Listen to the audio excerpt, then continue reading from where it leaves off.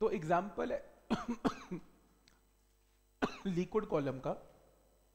आपको कभी भी डायग्राम अगर ऐसा गिवन हो, जिसमें ये ट्यूब गिवन हो, और अलग अलग किस्म के लिक्विड गिवन हो, जैसे क्वेश्चन में गिवन है इसमें, कि मान लो आपके पास एक मरकरी लिक्विड है, और मरकरी का लेवल दोनों ट्यूब्स में एग्जैक्टली exactly सेम है। ये मरकरी का लेवल है। तो मरकरी यहाँ तक है और वो दोनों ट्यूब में सेम लेवल पे है। आपने क्या किया? लेफ़्ट साइड पे स्पिरिट डाल दी। स्पिरिट हल्की होती है। स्पिरिट डाल दी और स्पिरिट कहाँ तक डाली? 12.5 सेंटीमीटर पे डाल दी। तो जब आपने स्पिरिट डाली तो मरकरी इस हिस्से से भारी हो गई। ये वाला हिस्सा भारी हो गया तो कायदे से मरकरी ऊपर उठ जानी चाहिए। यहाँ से बाहर होगा तो ऐसे जाएगा लिक्विड पर ऐसे ना जाए, इसके लिए आपने यहाँ पर 10 सेंटीमीटर तक पानी डाल दिया। तो यहाँ से पानी डाल दिया 10 सेंटीमीटर का, यहाँ से स्पिरिट डाल दी ताकि मरकरी का लेवल चेंज नहीं हुआ गिवन है क्वेश्चन में। तो बैलेंस कर गया। तो ये सिचुएशन आपको क्वेश्चन है गिवन है। आपको बताना है what is relative density of spirit आपको इस क्वेश्चन में रिलेटिव डेंसिटी मरकरी की तो गिवन है, आपको स्पिरिट की निकालनी है। स्पिरिट की रिलेटिव डेंसिटी क्या होगी? Density of spirit divided by density of water यही क्या चीज़ है रिलेटिव डेंसिटी इसकी रेशियो निकालनी है। तो एक तरीके से डेंसिटी ऑफ़ स्पिरिट निकाल के डेंसिटी ऑफ़ वाटर से डिवाइड करके आंसर आ जाएगा। तो बेसिकली तो डेंसिटी ऑफ़ स्पिरिट निकालनी है। कभी भी इस टाइप का अगर क्वेश्चन आ जाए ना ट्यूब जिसमें गिवन हो लिक्विड इक्विलिब्रियम में गिवन हो, इसमें इक्विलिब्रियम गिवन होता है, कोई लिक्विड इसमें मूव नहीं कर रहा। तो एक ही रूल लगता है।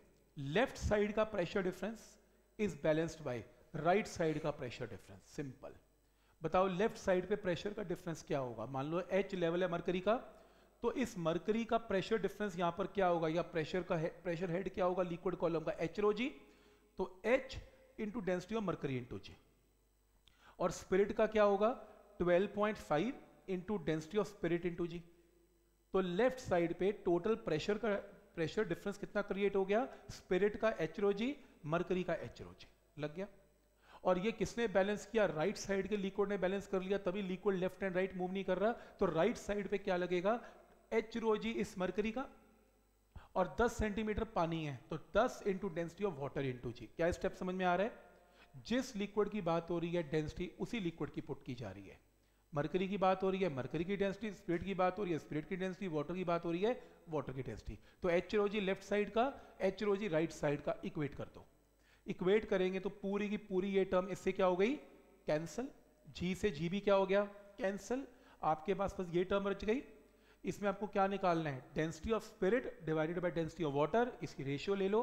रेशियो लेके जो आंसर आएगा, वही क्या है आपकी रिलेटिव डेंसिटी तो आपने कैलकुलेशन में क्या करना है, वो तो आपको अपने आप पता लग जाएगा। मेन चीज़ है कि इस यू ट्यूब वाले क्वेश्चन में, जिसमें यू शेप ट्यूब्स हैं, इसमें लेफ़्ट और राइट के प्रेशर डिफरेंस को देखते ही क्या कर देना है? इक्वेट आंसर आ जाएगा। क्या स्टेप समझ में आ रहे हैं यहाँ तक? क्लियर है यहाँ तक? इसी का एक और बी पार्ट है। आगे एक्सटेंड कर दिया। उसने कहा कि सपोज़ करो कि इन दी अब क्वेश्चन 15 सेंटीमीटर ऑफ़ स्पिरिट पहले कितने सेंटीमीटर स्पिरिट थी? 12.5 सेंटीमीटर थी। 15 सेंटीमीटर स्पिरिट मैंने और डाल दी तो टोटल स्पिरिट क्या होगी? 27.5 हो गई। 12.5 तो पहले ही थी 15 और डाल दी 27.5 कर दी स्पिरिट और डाल दी।